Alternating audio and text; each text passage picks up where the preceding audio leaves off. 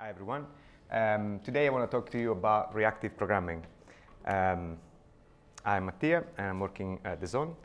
And as Ali said, uh, DAZN is like Netflix, uh, but instead of streaming content like um, videos and TV and sports, sorry, TV series and movies, we are like streaming uh, sports. Um, right, this is the agenda of today. I'm going to just introduce to you um, what are the most common paradigms that we're using, and then I'm going to switch to React programming, and then MobX and MobX uh, State Tree. Can I first ask you how many of you are using uh, reactive programming at work? Or great, lots of you. Nice. So, um, as introduction, I want to just show you the the most common paradigms, so imperative and functional. Uh, these are the most common one, and all of us are using it. And in imperative way, just like a sequence of steps that we're using to achieve a specific target or to change a state. But mainly we're using it, we are describing it how to do, so how the application does a specific um, task. In the function programming instead, we are just using pure functions. And through the pure functions, we can use it like to avoid the um, shared state mutable data or side effects. This one is an example of using um, the function programming in, the, in an interactive way. And I believe that this one is the one that most of us are using it. So as you can see, we do have a separation of concern, where we do, we do have the uh, calculator, who is in charge just of um, outputting the sum of two elements, A and B. And we do have a receipt object that is actually the receiver of the calculator object. So we're passing through as a dependency. And so as you can see in the constructor, we got the calculator, we initialize it. And in the print method of the receipt, we are just using the dependency injected. We are calling straight the method inside the calculator. So doing that, when I'm running print on the console, I will see um, as an output like a total that comes back from uh, the sum method in the calculator. Using this kind of approach has some issues because like in that case, as we just saw, the two objects are like coupled together because like we need to pass through as a dependency injection the main object. And so the receiver or the, the host um, object, receipt in that case, needs to, call, needs to know which is the method that needs to be triggered to receive back a specific output. Uh, the second and one of the most common issues is like every time that the state changes, we should just update all of the dependent objects. So in that case, receipt, if it changes the state, receipt needs to know it, needs to be updated. So we need to notify those changes to all of the dependent objects. How can we fix this? With reactive programming. This one is the, um, the definition of reactive programming and says, so the key point about reactive programming is like not caring anymore about the propagation of data, but just relying on this kind of structure, this kind of architecture. So reactive programming would allow us to not um, care anymore about updating the state or like notified to the receiver uh, wherever the state has been updated, because the reactive programming does it for us. Um, what's behind the scene? So reactive programming uses two patterns, the observer pattern uh, that is nothing that create two different kind of ob um, objects. One is the observable and one is the observer.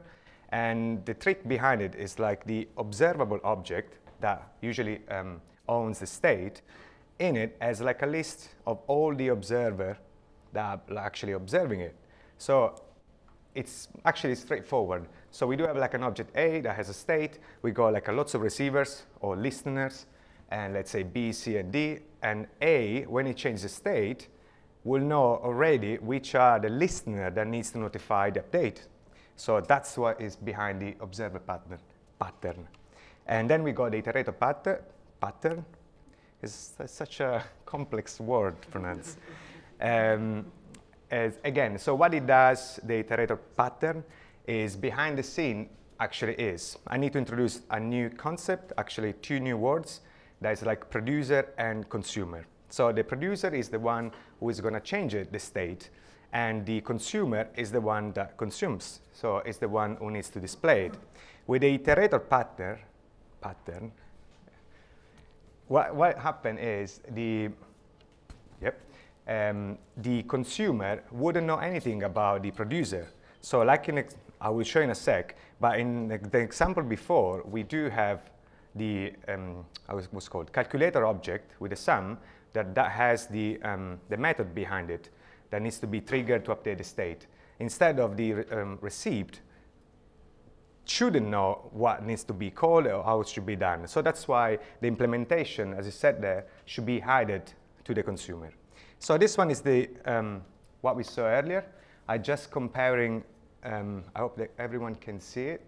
I'm just comparing the two approach. One is the uh, interactive way and one is the reactive way. And as you can see, if you want to compare those ones in the um, left example, so in an interactive way, we do have this um, separation of concern. We got two different objects, but received still needs to call the sum method that belongs to an external object. So in that case, received needs to know how to update the, the state. Instead, with the reactive approach, it's different because reactive approach introduce a third player in this kind of um, structure. And the player is the observable. So in that case, the calculator, in, yeah, the calculator itself, instead of like um, exporting or outputting the um, sum method, it's just exporting or outputting the observable. So the observable is just like observing, as I said earlier, on top of the sum method. And is the only one that we are injecting in the receipt method. So in the constructor, we got the observable this time. We do not, we are not injecting any instance of the calculator. So in that case, receipt wouldn't know anything about the sum method. We'll just react as soon as we change the state in the um, producer. Um, I hope that is kind of clear.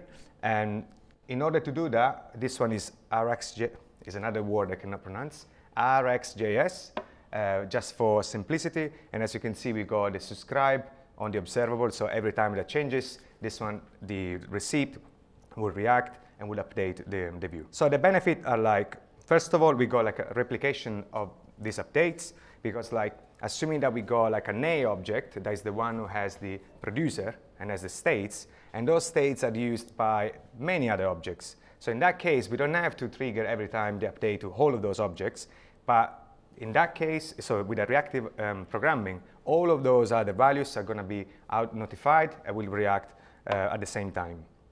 We do have like an isolation, and in that case, it's going to be in time and space because like the different objects, they can have different life cycles, so they don't have to share the life cycles, and they don't need to know each other for, uh, at the same time to connect, to have a communication between them.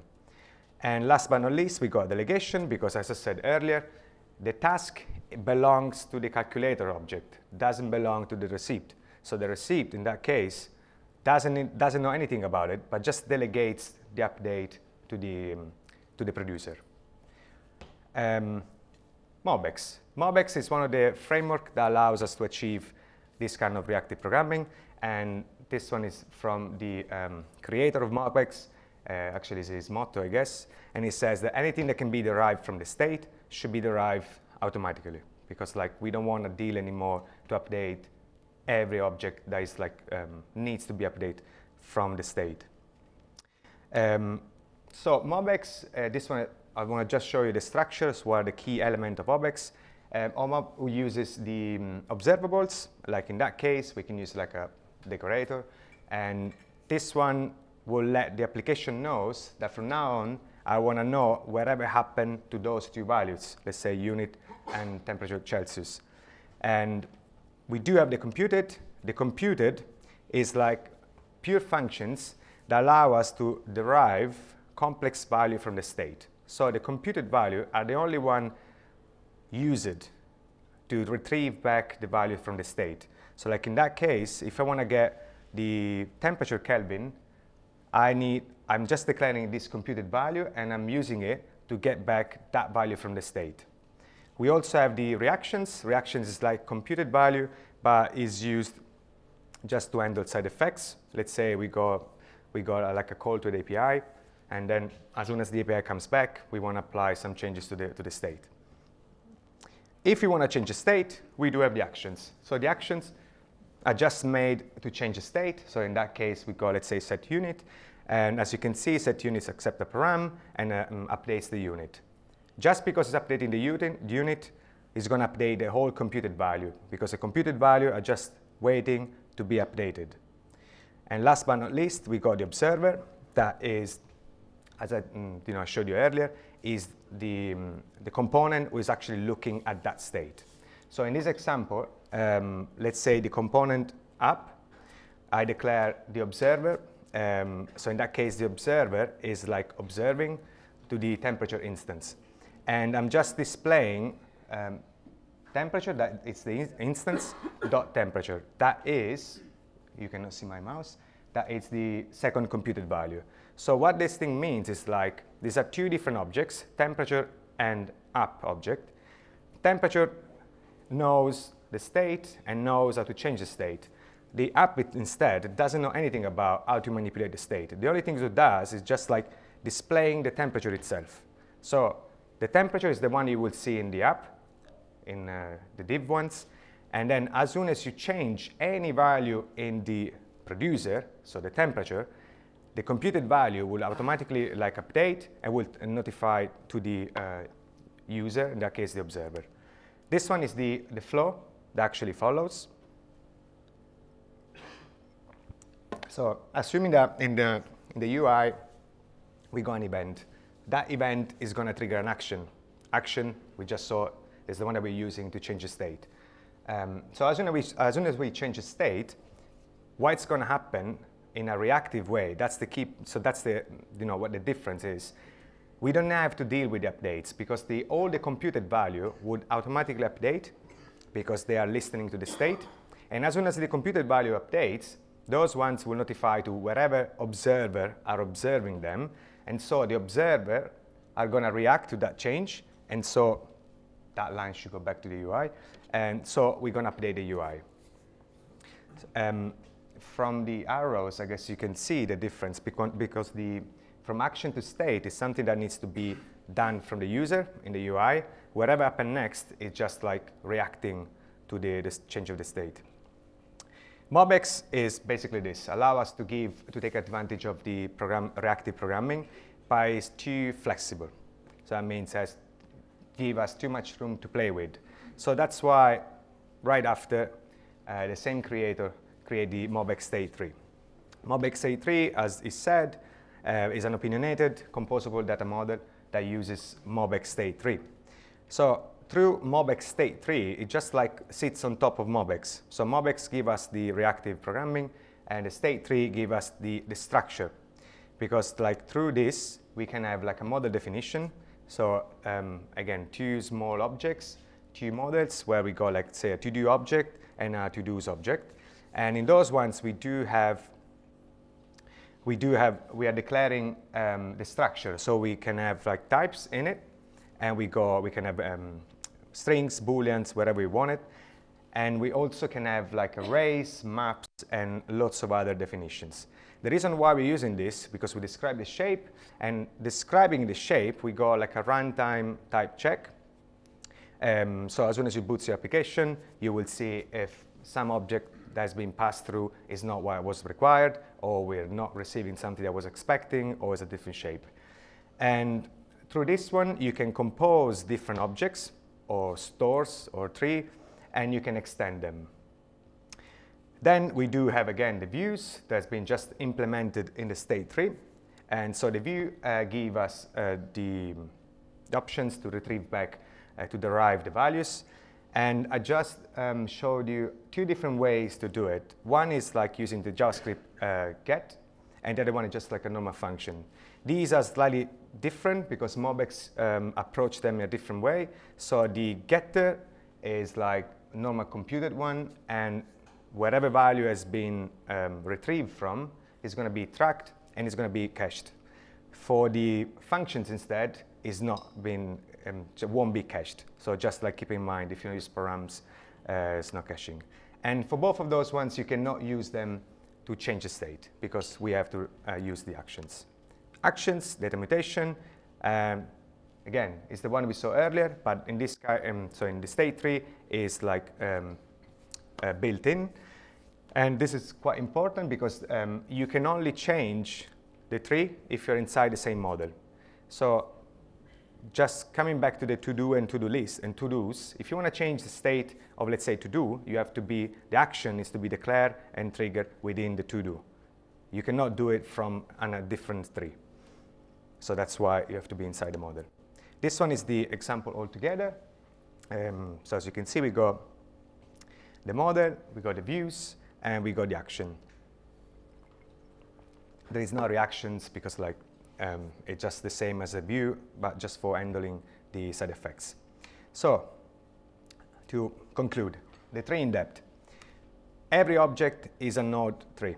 So every object that we are declaring, that we are describing it, is like a node tree.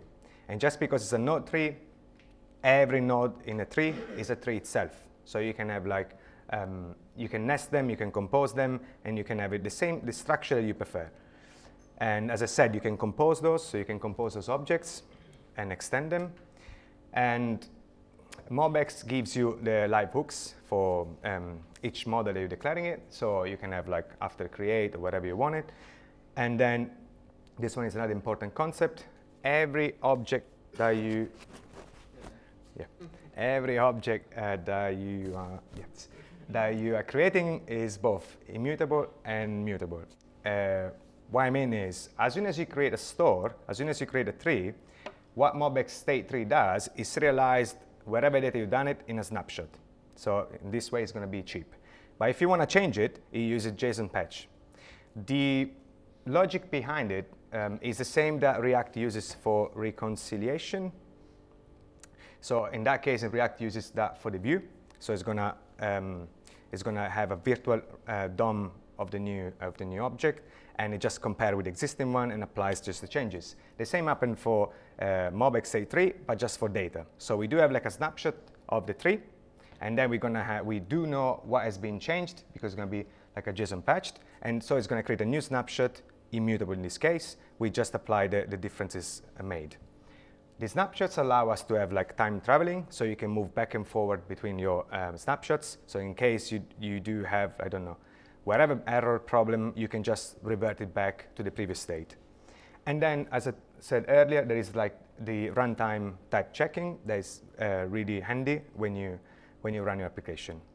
Last but not least, um, you can create multi-stores. So it's not a singleton store, but you can create as many stores as you want it. So you can have like a flat um, structure or wherever. The only thing is like you can nest in a store, so in a tree, wherever trees you wanted. So, or at least the one has been the one that is needed in the tree. Um, if you want to do know more, there are those links. Um, the first one is like a book that actually um, a colleague of mine uh, wrote. And that one, of course, goes a lot deeper than what I just explained to you um, and starts from architectures um, to the reactive one. And then these are the documentation for MobX and State Tree. Thank you.